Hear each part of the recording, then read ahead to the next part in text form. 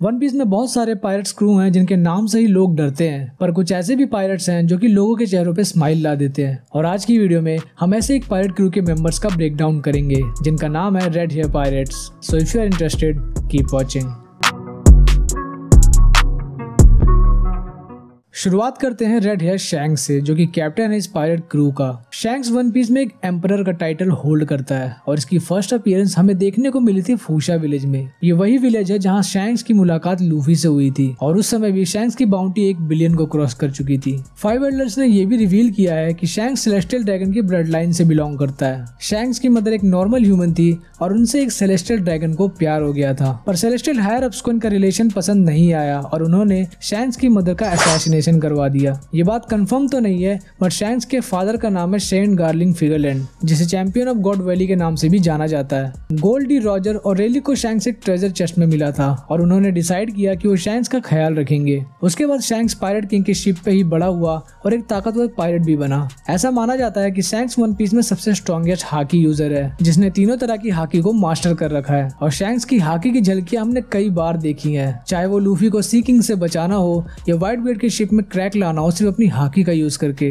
Shanks One piece world में एक लौता ऐसा कैरेक्टर है जो बिना किसी डेबल फ्रूट के इतनी ज़्यादा पावर होल्ड करता है। और इतना ज़्यादा पावरफुल होने के बावजूद भी शैंक्स बस यही कोशिश करता है कि दुनिया में शांति बनी रहे। वो अपने क्रू के साथ इंजॉय करता है और अगर उसकी कोई इंसल्ट भी कर दे तो वो उसका बुरा नहीं मानता, जिसका एग्ज़ाम्पल है फूशा विलेज वाला इंसिडेंट शैंक्स खुद के साथ हुए बुरे बर्ताव को तो हँसी मज़ाक में उड़ा देता है बट अगर कोई उसके फ्रेंड्स को परेशान करे तो वो उसे बिना सबक सिखाए नहीं छोड़ता।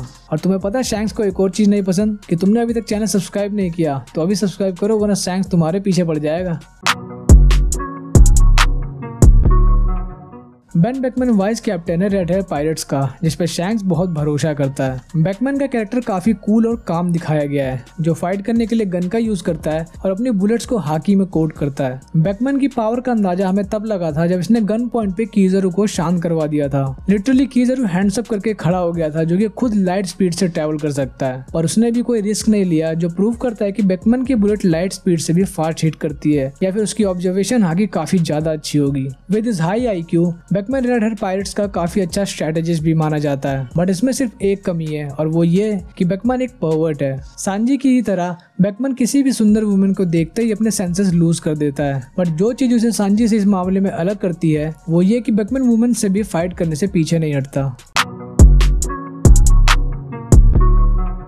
अगले मेंबर का रिलेशन लूफी के क्रू मेंबर से है। अगर तुमने गैस कर लिया तो जल्दी से कमेंट्स करो। जी हाँ मैं बात कर रहा हूँ Yasopp of the man with bird eye view की। Yasopp of Red Hair Pirates में एज स्नाइपर एग्जिस्ट करता है, जिसकी स्नाइपिंग स्किल टॉप नॉच है। यासफ का हमेशा से सपना था एक पायलट बनने का, पर अपनी फैमिली के चलते उस सपने को पूरा नहीं कर पा रहा था। पर उसकी वाइफ ने उसे यह परमिशन दी कि वो उन्हें पीछे छोड़कर अपने सपनों को पूरा करने जा सकता है। और उसके बाद ही यासफ ने आज से बारह साल पहले साइंस के क्रू को ज्वाइन किया था। यासफ को अभी तक हमने कभी फाइट करते हुए नहीं देखा बट यासब की ऑब्जर्वेशन हागी काताकुरी से भी सुपीरियर मानी जाती है which means he never miss the single shot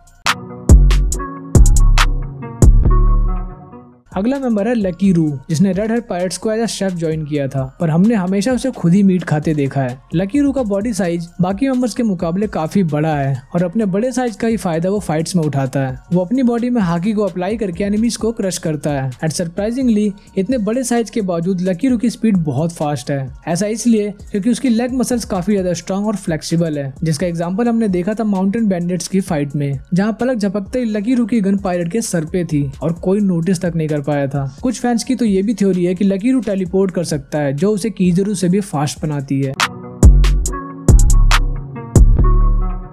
red hair pirates के अगले कैरेक्टर का नाम है लाइम जूस लाइम जूस भी एक कमाल का फाइटर है, जो कि सांजी की तरह स्काई वॉक कर सकता है। लाइम जूस जब फूसा विलेज में आया था तो उसके पास एक एक्स हुआ करती थी। बट बाद में वो एक इलेक्ट्रिकली चार्ज स्टाफ यूज़ करने लगा, जिसे वो एरियल कॉम्बैट में यूज़ करता है। आज से 12 साल पहले इसने क्रू को ज्वाइन किया था, और करंटली क्रू में सीनियर ऑफिसर की रैंक होल्ड करता है। इससे ज़्यादा लाइम जूस के बारे में हमें नहीं पता। अगला मेंबर है बॉन्ग पंच जिसके नाम में इसकी एबिलिटीज छुपी हुई हैं। Bonk Punch devastating punches land कर सकता है, जिसकी डिस्ट्रक्टिव पावर काफ़ी ज़्यादा होती है। बिल्कुल एलिजाबेलो के किंग पंच की तरह। बॉन्ग पंच कमाल का म्यूजिशियन भी है, जिसकी ज़िम्मेदारी है रेड हेयर पैरट्स की जर्नी को एंटरटेनिंग बनाना। बॉन्ग पंच अपने साथ एक मंकी रखता है, पर यह कोई नॉर्मल मंकी नहीं है। फाइट्स में यह मंकी कमज़ोर एनिमीज से फाइट करता है, जिससे बॉन्ग पंच सिर्फ़ स्ट्रॉगर एनिमीज के अगेंस्ट अपनी पावर को यूज़ कर सके। शैंक्स की क्रू का अगला मेंबर है बिल्डिंग स्नेक इसने रेड हेयर पायरेट्स को एज ए डॉक्टर ज्वाइन किया था बट बाद में शैंक्स ने बिल्डिंग स्नेक को नेविगेटर की ज़िम्मेदारी दे दी। इस वजह से बिल्डिंग स्नेक क्रू का एक इम्पोर्टेंट पिलर बन गया। अनलाइक जोरो ये बंदा टू सोर्स ओन करता है, जिनका यूज़ करके एक्रोबैटिक मूव्स परफॉर्म करता है, जो कि इसका फाइटिंग स्टाइल है as a swordsman Building Snake को वेपन्स मास्टर भी कहा जाता है, क्योंकि इसे हर तरह के वेपन्स की कंप्लीट नॉलेज है, और ये किसी भी वेपन को सेकंड्स में डिसमेंटल कर सकता है। और हम कह सकते हैं is a multi talented crew member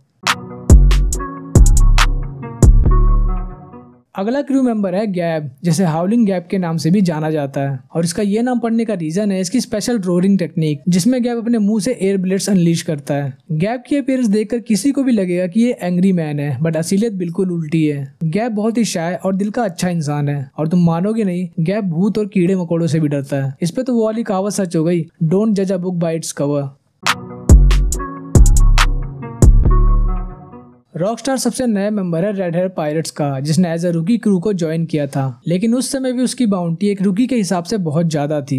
Rockstar एक स्पोर्ट्समैन है, जो स्प्लिटिंग शॉर्ट टेक्निक यूज़ करता है और अपनी तलवार से वो अपने अपोनेंट के दो टुकड़े करने के लिए मशहूर है। रॉकस्टार को अपनी प्राइड बहुत प्यारी है, क्योंकि जब शैंक्स ने उसे व्हाइट की शिप पे भेजा था एक मैसेज देने के लिए तो व्हाइट बियड ने उसकी इंसल्ट की थी और वो व्हाइट बियड के अगेंस्ट भी जाने के लिए तैयार हो गया था। रॉकस्टार रूल्स को स्ट्रिक्टली फॉलो करने में बिलीव करता है और वो ये भी मेक श्योर करता है कि बाकी क्रू मेंबर्स भी शैंक्स के बनाए रूल्स को फॉलो करें। तो ये थे रेड हेयर पायरेट्स के सभी मेंबर्स और सैंक्स को छोड़कर तुम्हारा फेवरेट मेंबर कौन सा है? और यार वीडियो अच्छी लगी तो लाइक करके शेयर ज़रूर करना। टॉप टेन डबल फ्रूट्स के बारे में जानना चाहते हो तो ये वीडियो चेकआउट कर सकते हो। मिलते हैं नेक्स्ट वीडियो में।